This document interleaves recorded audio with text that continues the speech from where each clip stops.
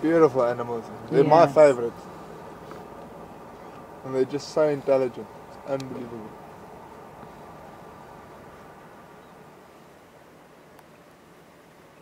I see one thing you look for when you approach a breeding